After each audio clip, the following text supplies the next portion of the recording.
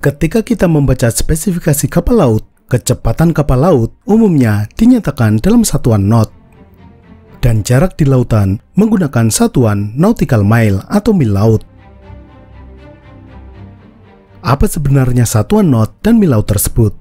Mengapa tidak menggunakan satuan kilometer dan kilometer per jam yang merupakan satuan internasional? Mil laut atau nautical mile juga berbeda dengan satuan mil yang digunakan di darat. Mengapa demikian? Kita akan membahasnya dalam video ini. Pertama, kita bahas dulu satuan yang kita gunakan sehari-hari, yaitu satuan metrik system. Disebut juga satuan internasional, karena satuan ini digunakan di seluruh dunia. Hanya tiga negara yang secara resmi tidak menggunakan satuan ini, yakni Amerika Serikat, Myanmar, dan Liberia. Entah ada apa dengan mereka. Bahkan, kita sulit menemukan persamaan ketiga negara tersebut. Amerika, Myanmar, Liberia, tidak ada mirip-miripnya. Pada zaman dahulu, banyak satuan-satuan atau unit ukuran yang digunakan umat manusia. Di Indonesia sendiri, ada satuan tradisional hasta, jengkal, dan depa. Untuk jarak yang lebih jauh, ada jarak sepelemparan tombak atau yang lebih jauh lagi, lima hari berkuda. Tetapi tentunya Kisanak tahu, ukuran-ukuran itu tidak konsisten.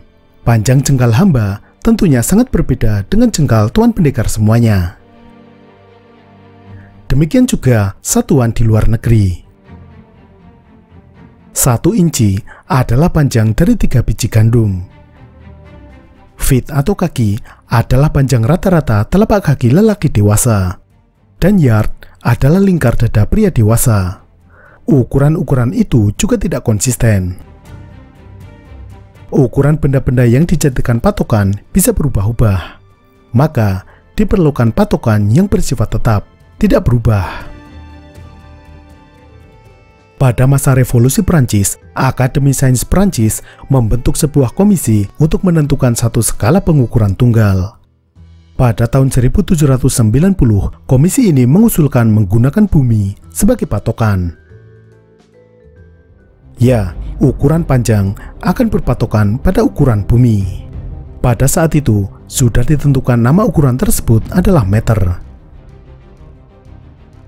Satu meter adalah sepersepuluh juta kuarter meridian, yakni seperempat dari keliling bumi melalui garis meridian. Satu meter adalah sepersepuluh juta jarak antara titik kutub utara sampai garis khatulistiwa melalui kota Paris. Pertanyaannya, Bagaimana cara mengukurnya? Siapa yang akan menarik meteran dari kutub utara sampai khatulistiwa? Tentu bukan begitu caranya. Ada metode khusus untuk mengukurnya. Pada tahun 1792, Akademi Sains Perancis menugaskan tim ekspedisi untuk mulai melakukan pengukuran. Pengukuran ini dipimpin oleh Yang Baptiste Joseph Delambre dan Pierre McHain. Mereka mengukur jarak dari suatu titik di Dunkirk sampai Kastil Montjuic di Barcelona. Dengan metode geodesi, mereka melakukan pengukuran dengan metode triangulasi, mengukur secara hati-hati dari titik ke titik. Misalnya, dimulai dari titik A, jarak A ke B diukur secara manual dengan menggunakan meteran. Lalu, ditempatkan titik C. Titik C dibidik dari titik A dan titik B. Setelah diketahui sudutnya, maka jarak B ke C bisa dihitung. Lalu dilanjutkan ke titik D, dibidik dari B dan C. Jarak B ke D bisa dihitung dengan trigonometri. Dan hal ini dilakukan terus-menerus dari titik ke titik hingga sejauh sekitar 1000 km.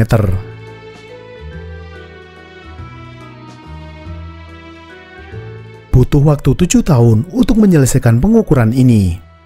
Setelah jarak dari Dunkirk ke Barcelona diketahui, maka jarak kutub utara ke Khatulistiwa bisa dihitung. Ini berdasarkan selisih koordinat antara kedua titik di kota tersebut. Karena selisih koordinat antara kutub dengan Khatulistiwa adalah 90 derajat, maka jarak dari kutub utara ke Khatulistiwa sama dengan 90 derajat dibagi selisih koordinat lintang antara Dunkirk dengan Barcelona. Kemudian dikali jarak antara Dunkirk ke Barcelona. Lalu, satuan satu meter adalah sepersepuluh juta jarak itu. Sehingga, Pada masa itu, dipercaya bahwa keliling bumi adalah tepat 40 juta meter atau 40 ribu kilometer. Pengukuran modern ternyata keliling bumi adalah 40.075 km. Jadi, pengukuran yang dilakukan Prancis pada masa itu terdapat error 0,02 persen. Tapi, ini sudah sangat bagus mengingat itu dilakukan tahun 1790-an. Lalu, dibuat patokan standar 1 meter sebagai patokan bagi seluruh alat ukur pada masa itu. Satuan meter ini berbasis desimal. 1 meter dibagi 10 adalah desimeter. Kubus dengan ruang panjang rusuk 1 desimeter, maka volumenya disebut 1 liter. Ini adalah satuan volume. Lalu, 1 liter tersebut jika isinya adalah air, maka masanya adalah 1 kilogram. Ini adalah satuan massa atau bobot. Jadi, satuan pengukuran ini saling berhubungan dan sangat mudah difahami. Maka, satuan baru ini menyebar dan diadopsi hampir semua negara di dunia menjadi satuan internasional. Semua negara kecuali Amerika, Liberia, dan Myanmar. Entah ada masalah apa dengan mereka. Negara lain seperti Inggris secara formal juga menggunakan satuan internasional. Meskipun dalam kehidupan sehari-hari, sebagian oknum rakyatnya masih menggunakan satuan imperial.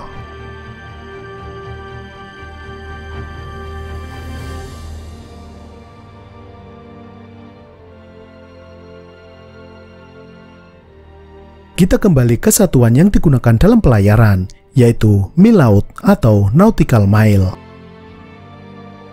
Satu mil laut setara dengan 1,852 km. Jika satuan meter didasarkan pada keliling bumi, apa patokan yang digunakan sebagai ukuran mil laut? Ternyata sama, yakni sama-sama bumi. Hanya saja pembaginya yang berbeda. Ini berkaitan dengan sistem koordinat yang digunakan untuk menunjukkan posisi di permukaan bumi. Dalam sistem koordinat ini, bumi dibagi-bagi dalam garis lintang dan garis bujur. Pada pembagian garis bujur, karena bumi bulat, maka pembagiannya sama dengan lingkaran, yakni 360 derajat. Tapi dalam prakteknya, dibagi dua menjadi belahan barat dan belahan timur. Garis tengahnya, yakni garis bujur 0 derajat. Dari garis 0 derajat ke barat adalah bujur barat, dan ke timur merupakan bujur timur. Setiap satu derajat sama dengan irisan seperti 360. Di lapangan, Jarak satu derajat ini masih sangat besar. Pada garis khatulistiwa, interval satu derajat sekitar 111 km. Ini seperti jarak Jakarta-Bandung.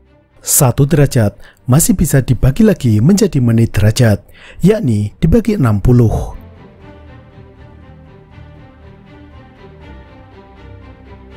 Nah, satu menit derajat di permukaan bumi inilah jarak mil laut.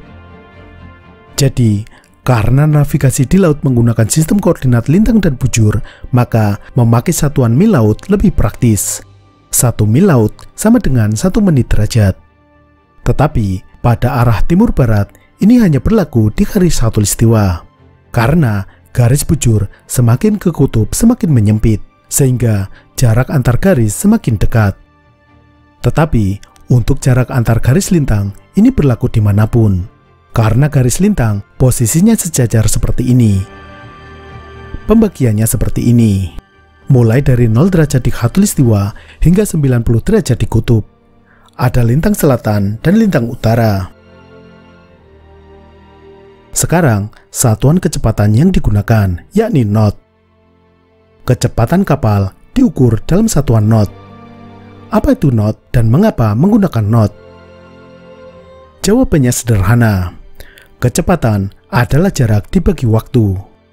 Karena satuan jarak menggunakan mil laut, maka satuan kecepatan juga berbasis mil laut. Satu knot adalah satu mil laut per jam. Jadi, kalau ada kapal melaju dengan kecepatan satu knot, itu berarti setara dengan 1,852 km per jam. Kecepatan satu mil laut per jam adalah definisi satu knot saat ini di zaman modern. Tetapi, dalam sejarahnya, satuan knot sebenarnya menggunakan patokan lain. Patokan yang digunakan sesuai dengan namanya, yakni knot yang berarti simpul. Pada pertengahan abad ke-19, untuk mengukur kecepatan kapal digunakan chip lock berupa kayu yang diceburkan ke laut. Kayu tersebut diikat pada tali. Pada tali, terdapat simpul-simpul atau ikatan-ikatan dengan jarak yang sama, yakni sekitar 14 meter. Kecepatan diukur dengan menghitung berapa simpul tali tersebut terulur dalam satu rentang waktu tertentu. Waktu diukur dengan menggunakan jam pasir yang berdurasi sekitar 30 detik. Misalnya saat jam pasir itu habis, tali terulur sepanjang 5 simpul, maka berarti kecepatan kapal adalah 5 knot. Kemudian, pada masa modern, satuan knot ini dikonversi dengan patokan mil laut. Jadi, itulah alasan di laut menggunakan satuan jarak mil laut dan kecepatan knot. Sekarang, mengapa dalam penerbangan, ketinggian pesawat umumnya dinyatakan dalam satuan kaki atau feet? Misalnya, pesawat terbang dengan ketinggian 10.000 kaki. Hal ini karena kebiasaan ini karena lahirnya dunia penerbangan, terutama penerbangan komersil, didominasi oleh banyaknya pesawat Amerika dan Inggris. Mereka berdua pada waktu itu menggunakan satuan imperial di antaranya kaki untuk satuan panjang. Karena kebiasaan dari awal ini, maka hingga sekarang ukuran ketinggian pesawat tetap lazim menggunakan satuan kaki. Intinya, jika kita menjadi pionir, maka semua akan mengikuti kita. Itulah penjelasan tentang satuan panjang yang kita gunakan, baik itu meter, mil laut, knot, maupun satuan imperial. Sampai jumpa.